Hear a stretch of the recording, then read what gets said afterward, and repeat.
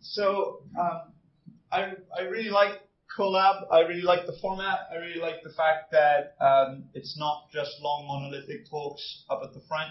Um, I think lightning talks at the opening are a fantastic thing, and something that Neil and James, I don't know if you're here, James, um, were chatting about last night was that it might be cool to have a completely open lightning talk session at the end of uh, maybe the second day or, or something where it could maybe fit in.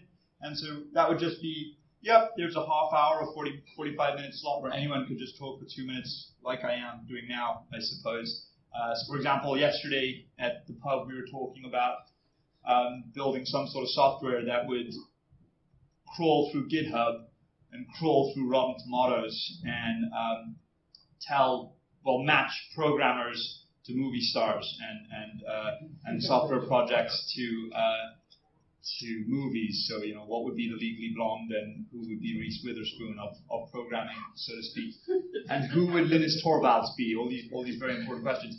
So that would be you know something that would be a neat, quirky lightning talk, but it could also be something more reactive to something else that's happened. So um, my lightning talk is to propose a completely open lightning talk session.